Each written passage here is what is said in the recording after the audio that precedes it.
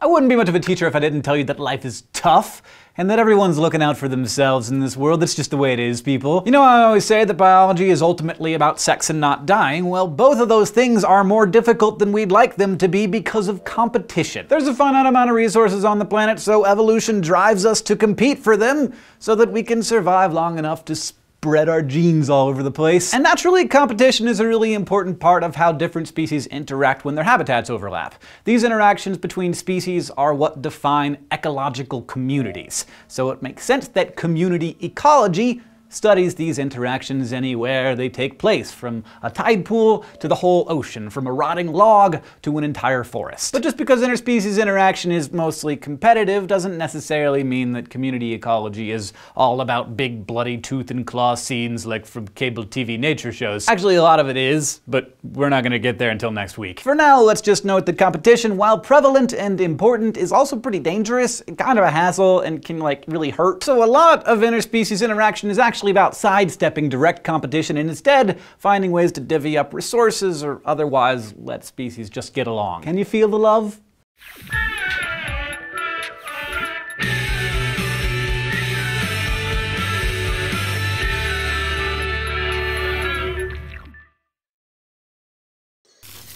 Careful guys, because right now we are surrounded by potentially lethal interspecific competition going on all over the place. Since we're animals, we usually think of competition as going on between animals, but really it happens between almost all members of the four kingdoms of life. Whenever species compete, they're going after the same resources that they need for their survival and continued population growth. In this garden, the weeds are competing with the sunflower and the corn and the dill for the nutrients and water in the soil. So these resources, because they're finite in this area, are the limiting factors that we've talked about. The population can only get as big as these factors will allow. Now, a particularly nasty weed could, over time, eliminate the veggies entirely. Such elimination is known as competitive exclusion, and it's one of the most fundamental properties in community ecology and also, like, life. Because the fact is, when two species are competing for the same resources, one of them is eventually gonna be more successful and eliminate the other. This bitter truth is known as the competitive exclusion principle, and it was first identified in 1934 by Russian ecologist G.F. Gause in a study of two closely related species of microscopic microscopic protists. When he was only 22 years old, Gause made a name for himself by conducting experiments that pitted one species of protist, Paramecium aurelia, against another, Paramecium caudatum. First, Gause grew each species separately with the exact same resources and found that each developed rapidly and established stable populations. But when he grew them in the same container, P. caudatum was soon driven to extinction by P. aurelia. Paramecium aurelia gained a competitive advantage because its population grew slightly faster than P. caudatum's.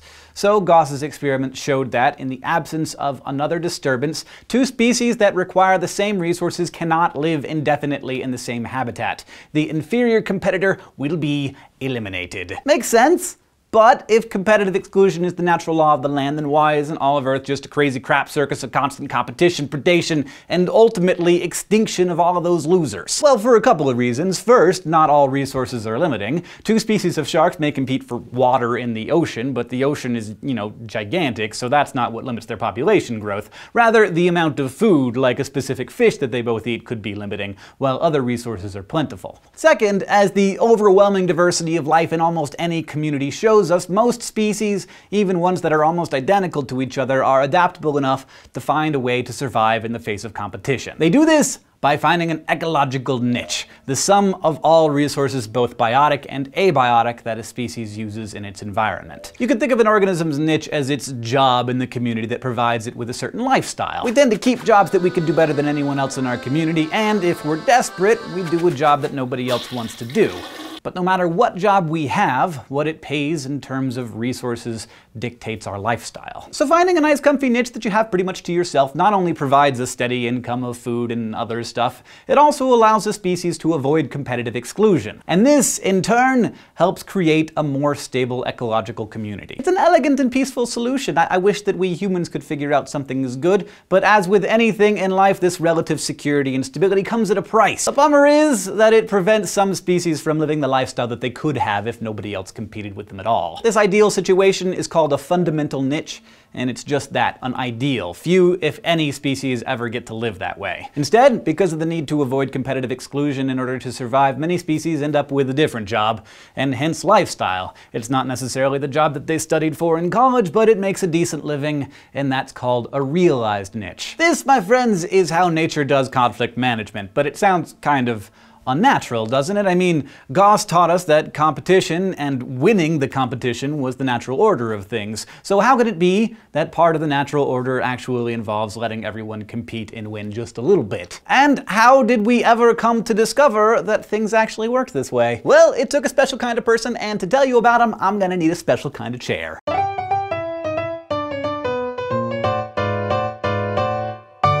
Canadian-born ecologist Robert MacArthur was in his late 20s when he made a discovery that made him one of the most influential ecologists of the 20th century. While researching his doctoral thesis at Yale University in 1958, he was studying five species of warblers that live in coniferous forests in the northeastern United States. At the time, because there were so many different species of warblers that lived, fed, and mated in such close quarters, many ornithologists thought that the birds occupied the exact same niche and thus were an exception to Gause's competitive exclusion principle. But MacArthur MacArthur was not convinced. A mathematician by training, he set out to measure exactly how and where each kind of warbler did its foraging, nesting, and mating. In order to do this, he studied each tree the birds lived in, dividing them into zones. 16 zones to be exact, from bare lichen at the base of the trunk to new needles and buds at the tips of the branches. After many seasons of observing many birds in many trees, he found that each species of warbler divided its time differently among the various parts of the tree. One warbler, called the Cape May, for example, spent most of its time toward the outside of the tree at the top, Meanwhile, the bay-breasted fed mostly around the middle interior. MacArthur also found that each of the warblers had different hunting and foraging habits, and even bred at slightly different times of the year, so that their highest food requirements didn't overlap. These differences illustrated how the warblers partitioned their limiting resources, each finding its realized niche that allowed it to escape the fate of competitive exclusion. The phenomenon he observed is now known as resource partitioning, when similar species settle into separate niches that let them coexist. Thanks in part to this discovery, MacArthur became known as a pioneer of modern ecology, encouraging curiosity and hypothesis-driven research, championing the use of genetics and ecological study, and collaborating with biologists like E.O. Wilson and Jared Diamond. Sadly, he died of renal cancer at the age of 42, but his study of northern warblers remains a classic example of community ecology that is still taught today. So if organisms can do this, if they can behave in ways that help minimize competition while increasing their odds for survival, it follows that traits associated with this behavior would start being selected favorably. After all, that's what natural selection is for. When this happens, it's known as character displacement. To demonstrate, let's go back to some other famous ecologists, our favorite couple of evolutionary biologists and lovebirds, Peter and Rosemary Grant. I told you before about how they observed the process of speciation among Darwin's famous Galapagos finches. Well, on the same island, Daphne Major, in 2006, they witnessed character displacement in action. For a long time, a small population of finches had the island to themselves, where they ate a variety of seeds, including seeds of the fever plant, which were bigger and more nutritious than the smaller seeds that were available, but were harder for the little finches to open. Then, in 1982, a group of much bigger finches showed up on the island and they began to commandeer the island's abundant supply of fever plant seeds. Within just 20 years, the Grants found that these small finches' beaks shrunk to allow them to specialize in eating only these smaller, less nutritious seeds. But now the little finches had those seeds all to themselves. The traits of the two populations had actually diverged to help facilitate the of resources. See, competition can be hard on us, but it can also make us better people, or, you know, finches, warblers, or kangaroo mice. But there are also kinds of interspecies interaction where species actually join forces in the fight for survival. This is the ultimate in conflict avoidance. In these cases, species in a community actually manage to avoid competition altogether by forming downright tight relationships that benefit one, if not both, of the parties involved. You may have heard of both of these cases. First, mutualism, where both species benefit, and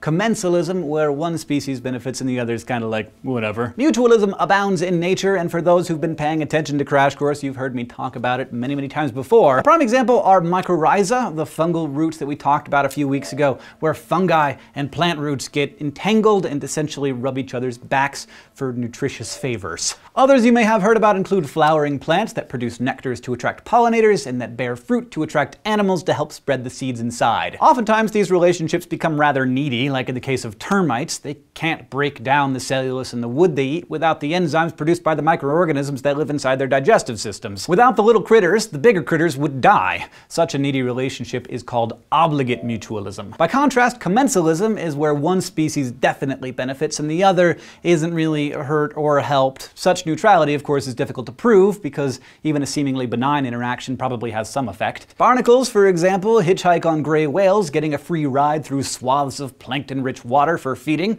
While clearly a benefit to the barnacles, the relationship is often considered commensal because the whales probably don't really care whether the barnacles are there or not. Or do they? The barnacles might slow down the whale as it swims through the water, but on the other hand, they might also serve as a type of camouflage from predators like orcas, in which case they confer an advantage. So it probably comes down to meh for the whale, and when you consider all the other possibilities out there when species interact, meh isn't such a bad option. Especially considering that next week, we're going for the throat, by which I mean we'll be investigating the kill or be killed world of animal predation and all of the fantastic evolutionary changes it can trigger that lead to even greater diversity in ecological communities. There probably is going to be a lot of blood though, so you might want to bring your poncho. Thank you for watching this episode of Crash Course Ecology. If you want to review anything, there's a table of contents over here for you to click on any of the parts that you may want to review. Much love and appreciation to all the people who helped us put this episode together, and if you have any questions or comments or ideas, you can leave them for us on Facebook or Twitter, or of course, down in the comments below.